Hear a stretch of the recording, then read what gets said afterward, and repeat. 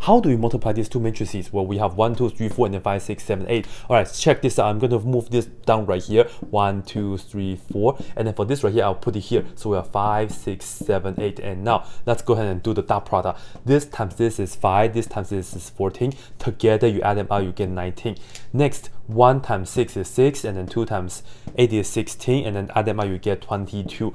And then next, you continue this times this is 15. This times this is 28. Together, you get 43. and lastly this times this is 18 plus this times this is 32 altogether you get 50 so this right here is the answer so we have 19 22 43 and 50 done